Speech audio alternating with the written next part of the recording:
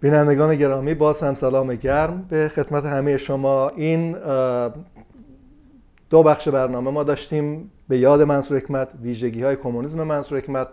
آخر اون برنامه من گفتم که یه بخشای از بحث مونده و ممکنه برنامه سوم داشته باشیم که بالاخره به نچرسیم برنامه سوم و برنامه پایانی این عنوان رو داشته باشیم. دوباره همین تقوایی مهمونمون هست. همین تقوایی خیلی خوش اومدی. بر...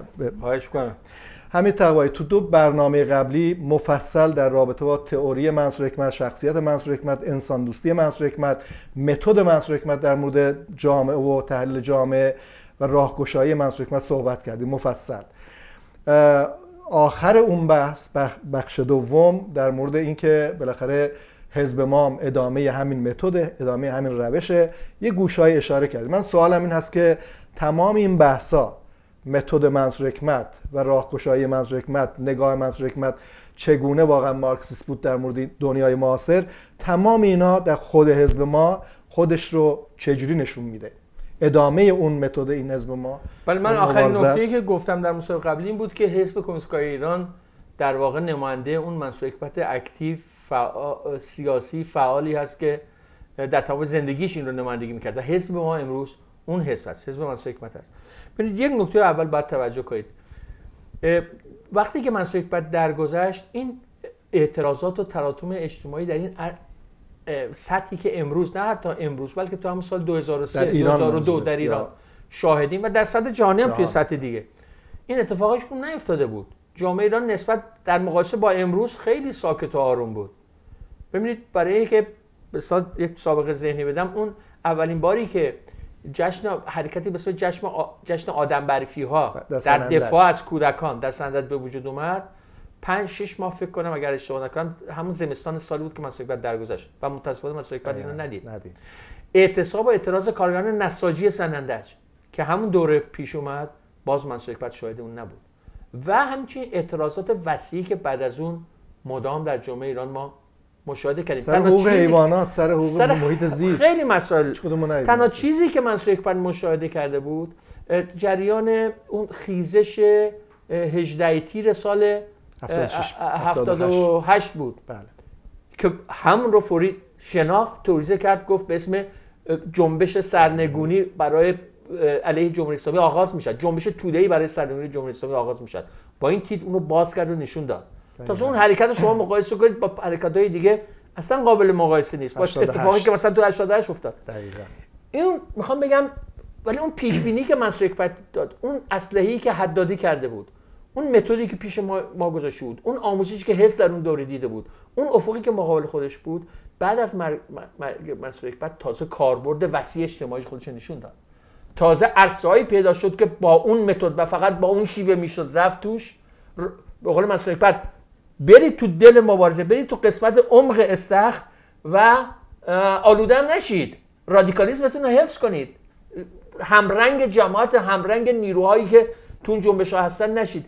این یک یک زمینه مهمه به یک عرصه مهم کاربرد یا عمل کردن به اون متد به اون خط به اون سیاست ها تازه بعد از منصور حکمت خودشو نشون داد و شرایط ایجاد شد که یک از یک طرف جای تاسف داره که منصور حکمت از دست دادیم. از طرف دیگه به ما قدرت می‌داد که خب ما به اون اصله به اون متد به اون شیوه به اون توریا مسلحیم که می‌تونیم بزنیم به دل جامعه و این کارو کردیم و زدیم. تلویزیون که الان مدت هاست اون تلویزیون 24 ساعت کانال جدید داره کار می‌کنه از همون سال فکر کنم دوم بعد از مرگ منصور حکمت شروع به کار کرد. منصور حکمت تو اون دوره آرزوش این بود که یک رادیو داشته باشیم اونم رادیو چند ساعته رادیکال. ما الان تلویزیون 24 ساعته داریم. این رو از امکان مالی جور کردنش بگیرید تا برنامه تهیه کردنش و تا جایی که تو جامعه پیدا کرده. امروز فعالان اجتماعی از عرصه‌های مختلف با تلویزیون ما تماس می‌گیرن همدیگر رو معرفی می‌کنن به مجری ما که برید با فلانی هم مصاحبه کن برید با فلانی هم مصاحبه کن. فعال جنبش کارگری فعال جنبش دستمزد فعال جنبش آزادی زندانی سیاسی طرفداران بیانیه از این زاده عبدی مخالفین اعدام خانواده های اعدامیان زیر اعدامی ها مدافعین آزادی زندانی سیاسی معترضین به آلودگی محیط زیست همه اینها الان با تلویزیون کانال جدید تماس می‌گیرن اون رو بلندگوی خودشون سوال نماینده و به چهره خودشون می‌دونن و در برنامه ها شرکت می‌کنن. و تهدیدات جمهوری اسلامی هم زیر پا می‌ذارن ازش میگذن جمهوری اسلامی بارها گفته با این تلویزیون های به خود ضد انقلاب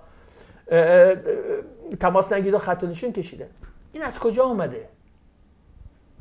این که حزب به اینجا رسیده به نظرم به خاطر اینکه همون نکته‌ای که در قسمت اول مصاحبه گفتم. این حزب اعتراض به نابرابری ها مسائب حزب تقسیم بندی مسائل به دموکراتیک انقلابی مال طبقه کارگر غیر طبقه کارگر نیست که در برخورد به انقلاب 88 دیدیم عینا این برخورد کردن. اکثریت قریب به اتفاق چپ های دیگه. گفتن این جنبش شما نیست. گفتن این اعتراض مال کروبی موسویه. دو خردادی هست غیر است حزب ما گفت که اونا هم بله توش هستن تا زورشون رو می‌زنن و بهانه شروعش هم این بودن. ولی مردم از عشق کروبی و موسوی نیومدن تو خیابون. مردمی که اومدن شعار میدارن موسوی بهانه است کل نظام نشانه است. میان میگن مرگ بر دیکتاتور علیه مصطفی پسر خامنه و خود خامنه و غیره دارن شعار میدن. این کجا مسئله شون و بعد اون قیام روز آشورا رو به اصطلاح سازمان میدن. حزب ما این بینش رو به کار برد و اینطور برخورد کرد و گفت این شورش 100 درجه بیشتر آن تیر ده سال قبل که منصور حکمت تازه اون رو رفت پشتش ازش حمایت کرد و گفت شورش توده‌ای برای سرنگونی جمهوری, جمهوری اسلامی آغاز می شود به طریق اولا 88 100 درجه بیشتر شورش و خیزش توده‌ای بود برای به زیر کشیدن جمهوری اسلامی. این متد و این شیوه رو ما به کار گرفتیم و نه فقط در برآمدها مثل 88 در مبارزه هر روزمون در دفاع از حقوق کودک فرض کنید. علی اکس مسلم بعد از اسلام بعد از مرگ مسیح درست شد. و تقابل ما با اسلام سیاسی در خود اروپا. چهرهایی مثل مینا احدی در این دوره گل کردن رو اومدن. مبارزه علیه برای آزادی زنان سیاسی فعالیت های شیوه محبوبی در این دوره بود. کنفرانسیون کنفرانسیون دفاع از حقوق پناهندگی از دوره مسیح تشکیل شد و در این دوره گسترش پیدا کرد. تبدیل شد به نیروی معتبر و اجتماعی. و همین امروز در خیلی از این عرصه حزب ما حضور داره. فعال با تلویزیونش با فعالین اجتماعیش به خصوص باز یکی از ابزارهایی که امروز در اختیار ماست مدیا اجتماعیه که در دوره مسئولیت به این سطوح نبود. این ابزار ما دست گرفتیم برای دخالتگری هرچه بیشتر در در مبارزه. این رو بذارید بگم این یه جمله رو قبل از که شعار بعدی بگید. ببینید من از انسان دوستی منصور حکمت شروع کردم. و اینکه منصور حکمت به مسائب انسان ها تو هر سطحی بی تفاوت نبود نه بی تفاوت نبود. می‌گفت بعد رفت حس ساخت مبارزه کرد دخالت کرد و حزب ما به نظر تجسم و مظهر این دخالتگری انقلابی در همه سطوح مبارزه است. من می‌خوام برگردم از در مورد 88 بپرسم خب این چه ربطی به متد منصور حکمت داره؟ برخورد حزب ما به 88 چه ربطی به متد منصور حکمت داره؟ اگه مثلا اونایی که گفتن این مال فقط کروبی و ایناست اونا چون متد منصور حکمت داشتن ما داشتیم این ربطش رو می‌خوام روشن کنیم. بعد برمیگردم خب سوالی دارم در مورد خود کارگران من گفتم متد خودش برمیگرده به اینکه انقلابیگریتون شما از کجا می‌گیرید؟ انقلابیگریتون از جامعه واقعی می‌گیرید یا از تو کتاب و تئوری و این مال طبقه کارگر هست یا نیست؟ اگر از جامعه واقعی می‌گیرید معلومه نسبت به 88 نمی‌تونستید بی‌اعتنا باشید. وقتی که کسی مثل ندا رو تو شلیک شلیک می‌کنن تو خیابون می‌کشن. شما نمی‌تونید بگید واسه من مهم نیست این کروبی رهبرش اونا میگن کارگر توش نبود همون کارگر, کارگر توش نبود دیگه. گویا فقط ج... ببینید این یه فرمبندی دیگه آزادی برای کارگر برای خلق و عدم آزادی برای ضد خلقه. گویا کارگر کشته بشه مهمه ولی غیر کارگر کشته بشه مهم نیست. اونم با شلیک نیروهای ارتجایی دولت حاکمه ای که خون مردم و کارگر و غیر کارگر در شیشه کرده. من می‌خوام بگم این از کجا میاد؟ این اول از نقطه شروع اینه ولی از نظر متدم بگید. ببینید من وقتی گفته جالبی داره در توضیح مبانی کمونیست کارگری میگه توده مردم بلند میشن بر اعتراض به وضع امروزشون. اینکه تحت سلطه چه حزبی حرکت می‌کنن؟ حزبی که تو میدون حاضره. مردم رادیکال ترین حزب موجود رو از لیست تیک می‌زنن و پشت اون میرن. شما اگه باشید شما رو انتخاب می‌کنن. اگه نباشید نمی‌تونید مردم رو سرزنش کنید. ما با تئوری های و متدولوژی روبرو شدیم در برخورد به 88 که منصوریت درست مقابل اونها بود. یعنی این تئوری که این مبارزه مال کروبیه. اگر من میگم اگه ما اینو می‌تونستیم بگیم تو هفتادش به طریق اولا اعتراض به روزنامه سلام بود دیگه اگه یادتون باشه. اون دوره دوی خوردادی های نوع رفسنجانی و خاتمی و غیره. خب به طریق اولایت دانشجو به اصطلاح دوی خوردادی در اعتراض به بستن روزنامه سلام 80 تیر 78 شد به وجود بودن من صحبت نگفت این حرفا رو. نگفت این مال اوناست. به ما مربوط نیست. دید دانشجو رو دارن می‌زنن. دانشجو بلند شده اعتراض می‌کنه. گفت شورش تودهی برای بزرگ کشیدن جمهوری اسلامی شروع می شود جنبش سرنگونی آغاز می شود و بحث بنسو اکبر و این متدش اونجا هم خودش نشون داد که شما بنسو اکبر میگه شما برای به خاطر غیبتتون در تحولات نمی‌تونید مردم رو سرزنش کنید. گویا مبارزه با بورژوازی فقط در آزمایشگاه اتفاق میفته جامعه رو خط می‌کشن میگن اون طرف پرولتاریا این طرف بورژوازی با هم بجنگید مردم هم گویا تماشا می‌کنن کف می‌زنن واسه پرولتاریا حد اکثر داستانی نیست. اگر مبارزه طبقاتی مبارزه است که درش نیروهای راست هستن الان اپوزیسیون راست داره جمهوری اسلامی سلطنت طلبها هستن دوی خردادی هستن. بخشی از خود رژیم مثل کروبی موسوی تر 88 هستن مقابل خامنه ای وامیستن همه اینا هستن. شما اگه تو این شرکت نکنید سیاست و تحولات و تاریخ دارید دست بورژوازی جناح‌های مختلفش. یک بار دیگه بلای انقلاب 57 به سر مردم بیارن حد اکثر به همین خاطر می‌خوام بگم این متد که شما باید حاضر باشید. جنگ ممکنه ببرید ممکنه تو 88 خب پیروز نشدید. ولی نمی‌تونید بگید تو جنگ شرکت نمی‌کنم چون این جنگ من نیست. چیزی به اسم نبرد من نداریم. هر نبردی که حق طلبانه است علیه نابرابری علیه ستم و تبعیض نبرد ماست. و باید اونجا حاضر باشیم. و وظیفه داریم حاضر باشیم. و رهبریش کنیم دقیقا به خاطر که بقیه نیان. تحریفش کنن به شکستش بکشونن پرچمش رو رنگ سفید بهش بزنن و, و, و امر خودشون رو پیش ببرن. دقیقا به این دلیل اگر که یک چپی تو دنیا هست چپی باشه که از این چپا زیاد داریم. چپ منزه طلبه از فوق رادیکالیسم جا نمیبینیدش. تو اروپا هم هست. چپ نوع چپ ایتالیا معروف بود که انقدر انقلابی بود که تو حتی تو اعتصابات کارگری شرکت نمی‌گفت می‌گفت سندیکالیستا رهبریشن. خب اگر اینطوری باشه بورژوازی که چی می‌خواد پس؟ یک چپی می‌خواد که بگه من نجس میشم. دنیا انقدر دست بورژوازیه و, و احزاب مختلفش و گرایش مختلفش که جای من نیست. خب شما کار بورژوازی رو راحت می‌کنید. آب دارید در آسیا در آسیا به اون عینا همین در مورد 88 هم حاکمه. بابک از اگه ممکنه به من یه نشون بده که چقدر وقتمون مونده من دستم بیاد. ده دقیقه وقتمون مونده. من دو تا سوال دارم که به هم مربوطن. حالا هر کدومش خواستی جلوتر جواب بده. یکی این انسان دوستی عمیق منصور حکمت در اینال مارکسیست بودن. عمیق منصور حکمت خودش رو در مبارزه کارگری خواسته های کارگری نیازهای کارگر خود کارگرا نه فقط طبقه کارگر عموما. اینجا خودش رو چجوری نشون میده؟ سوال بعدی هم بگم هر کدوم خواستیم تقدم تاخر با خودت. سوال بعدی هم اینه که اعدام مثال زدی. خب الان تو جامعه ایران خیلی ها رو اعدام می‌کنن. خب اعدام سیاسی الان حکومت اسلامی جرأت نمی‌کنه مثل اون دوره سیاسی ها رو اعدام کنه. ولی مردمی که جوانایی که اعتیاد قربانی اعتیاد شدن اینا رو دسته دسته اعدام می‌کنه. به این نام اعدام می‌کنه و خیلی هم اعتراض نمی‌کنن. ولی حزب کنسکارگری خیلی فعاله. از جمله مینا احدی خیلی فعاله. خب اینم سواله که این انسان دوستانه است درسته. ولی ربطش به مبارزه طبقه کارگر کمونیسم و رهایی جامعه کلا به دست طبقه کارگر چیه؟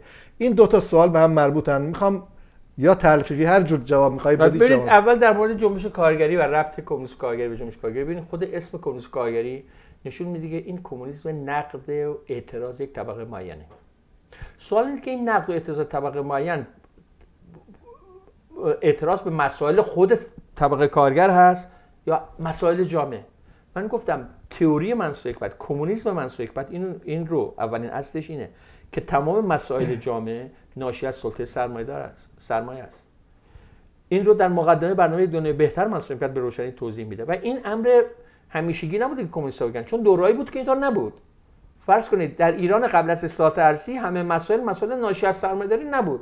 خیلی از مسائل ناشی از نظام فئودالی هنوز حاکم بود. مثل تراخمی که در روستاها بیداد می‌کرد.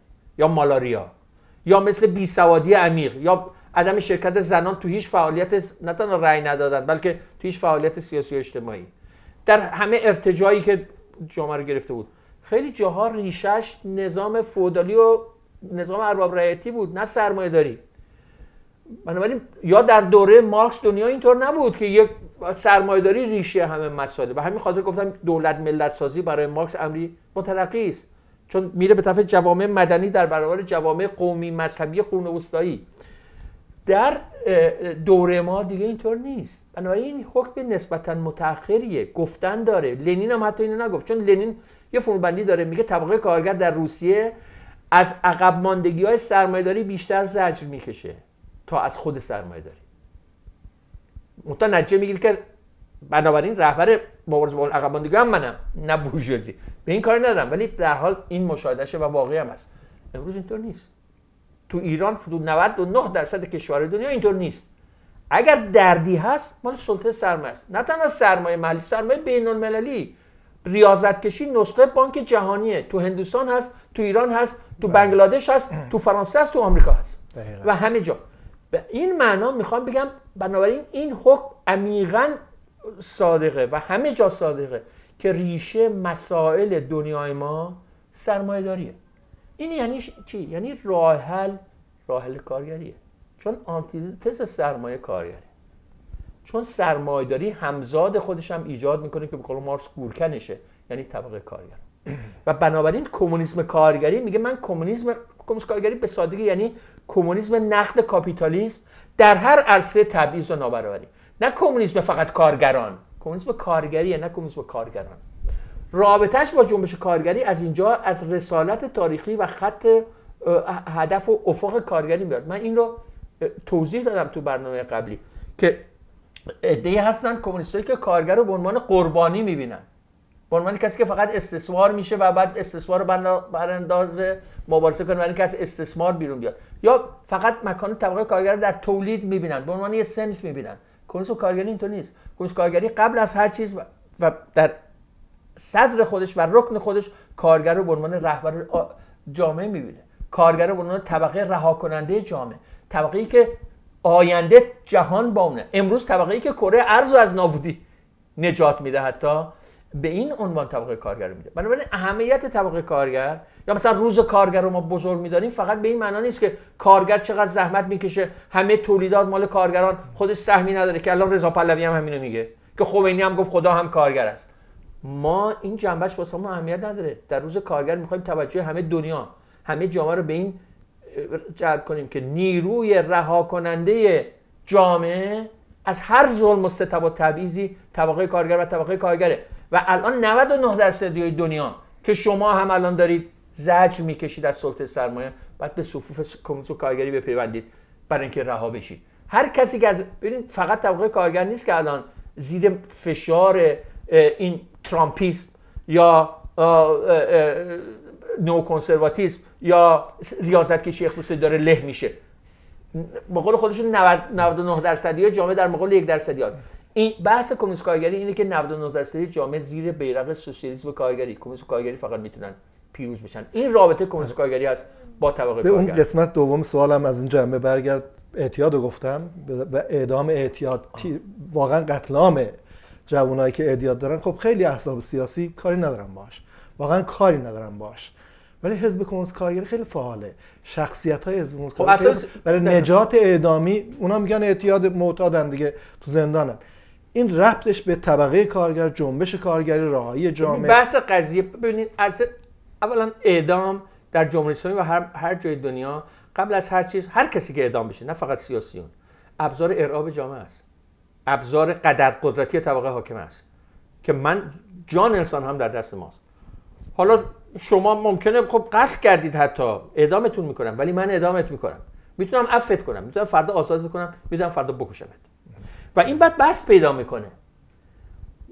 کم کم سیاسیون به عنوان کسایی که امنیت رو به خطر انداختن. و همین الان نه تنها جمهوری اسلامی در خود آمریکا اوج بساط دموکراسی غربی دنبال امثال چیز هستن سنودان و غیره هستن برای اینکه اسرار امنیتی جامعه آمریکا رو لو دادی. حالا اونا اعدام ممکنه اعدامش کنن ممکنه اعدامش نکنن. چون تو ایران تو آمریکا اعدام هم هست.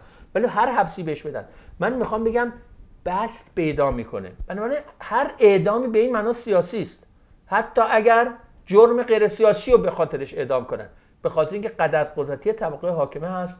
به عنوان اینکه جان انسان ها در دست ما و ارعاب جامعه. وقتی جمهوری اسلامی اعلام می‌کنه که در هفته گذشته 15 حالا قاچاقچی مواد مخدر اعدام شد اینطوری نیست که فقط قاچاقچیان مواد مخدر از این باید درس عبرت بگیرن. همه جامعه باید بدونه که این حکومت حکومتی است که ابایی نداره و به جر ثقیل هم آویزون می‌کنه وسط میدون شهر که بقیه هم ببینن و حساب دستشون بیاد. و هر جام لازم باشه اون وقت بستش میده به کسانی دیگه متا به اون عنوانی که ببینید سیاسی و به عنوان قاچاقچی اعدام می‌کنن سیاسی و به عنوان کسی که به مقدسات توهین کرده اعدام می‌کنن سیاسی و به عنوان کسی که امنیت رو به خطر انداخته اعدام می‌کنن. هیچ وقت نمیگن اینا سیاسیه. متا وقتی که مجازات اعدام وجود داشته باشه قابل بستم هست. به همین خاطر من حکمت میگه اعدام قتل عمد دولتی است نیست کی اعدام میشه. نفس اعدام حتی اگر جرم انجام داده حتی اگر اونی که اعدام می‌کنه ده نفر رو کشته. نفس اعدام قتل عمد دولتی است. به این معنا که شما در مقابل جامعه اسلحه رو بلند می‌کنید برای مرعوب کردنش و بعد برای بست دادنش به به در کل مخالفین سیاسیتون من اینو به این خاطر پرسیدم که رفتش رو یه جوری در در مقابل تمام جریاناتی که اگر به طبقه کارگر مربوط نیست پس مهم نیست به این خاطر پرسیدم. ولی نجات جان خود اون اعدامیام همون معتادان از مهم چند زاویه به طبقه کارگر مربوط میشه. یکی اینکه وقتی اعدام مجاز بود قربانیانش فعالین طبقه کارگر هم هستن. منتها نه به عنوان اینکه تو برای طبقه کارگر معلومه هیچ وقت رژیم اینو نمیگه. میگه امنیت رو به خطر انداختی تو تولید غیر کردی و بعد اگر اون اعدام کردی به این اقلا می‌تونه 15 سال بده. من می‌خوام بگم وقتی شما جرم و سقفش رو می‌ذارید اعدام دیگه 15 سال تخفیف به نظر می‌رسه. ملایم به نظر می‌رسه. میگه این طبقه کارگر شلوغ کرده. من که اعدامش نمی‌کنم. 15 سال بهش میدم. منتها اعدام اونجا داری. ولی اگر شما ما حبس ابد هم باش مخالفیم. اگر 15 سال 20 سال بیشترین حبستون وقتی که نمی‌تونید کارگر رو یه جنبه. این یه جنبه شه. یه جنبه دیگه به کار به کارگر مربوطه چون اعدام اسلحه است در دست طبقه سرمایه‌دار. برای معروب کردن کل جامعه و به طریق اولا برای برخورد به جنبش کارگری عقب روندن کمونیسم کارگری و سیاست کارگری. به این الان کمونیست مثل من و شما حکم اون اعدامه ما می‌دونیم. منتها به عنوان مرتد به عنوان مفسد فل به عنوان ضد انقلاب هر چی خب تو جامعه که اعدام وجود نداشته باشه این رو نمی‌تونید بگید. از این سرم به طبقه کارگر برد میشه. و بالاخره به این معنا که کارگر باید نماینده و برچمدار یک جامعه انسانی و دنیای بهتر انسانی که تو برنامه ما گفتیم برای باشه. همه. و تو برای همه برای همه انسان ها. و تو اون دنیا اعدام وجود خارجی نداره حبس ابد هم نداره. اصلا مجازات به عنوان تلافی و انتقام وجود خارجی نداره. چه برسه به اعدام. همه اینها نشون میده که شما نمی‌تونید. ببینید کمونیست که امروز میگه اعدام قاچاقچی مهم نیست مردم بهش اعتقاد نمی‌کنن. میگه فردا که به قدرت رسید شروع می‌کنه ایده به اسم قاچاقچی زدن. جمهوری اسلامی هم داره همین کارو می‌کنه شاه هم همین کارو می‌کرد. به اسم اون موقع علیه امنیت توهین به خاک یا تمامیت ارزی میکش. جمهوری اسلامی هم به اسم توهین به اسلام می‌کشه. میگه اینا میان فردا به اسم توهین به کمونیسم بار می‌کشن. که کردن. تو تاریخ این اتفاق افتاده. از هر نظر که نگاه کنید مبارزه علیه اعدام یک امر مهم سیاسی است. جنبه انسان دوستانه سر جای خودش ولی به خود شما ربطش به طبقه کارگر و به مبارزه سیاسی طبقه کارگر از همین جنبه ها هست. و به همین خاطر حزب ما یک نیروی پیگیری این هم بوده. و اینم بگم خوشبختانه امروز این بس پیدا کرد.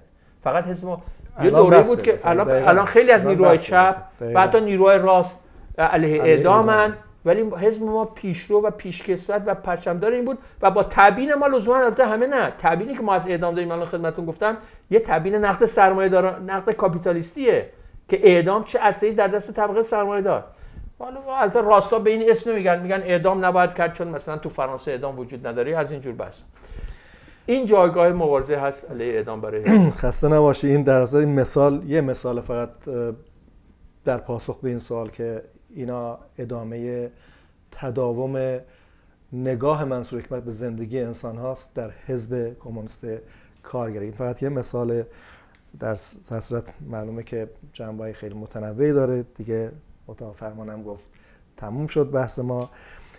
بینندگان عزیز این بخش سوم و پایانی به یاد منصور حکمت ویژگی های کمونیسم منصور حکمت بود که با حمید تقوایی سوالات مطرح کردن پیش بردیم. حمید تقوایی خسته نباشی. یاد عزیز منصور حکمت گرامی باد و موفق و سربلند باشید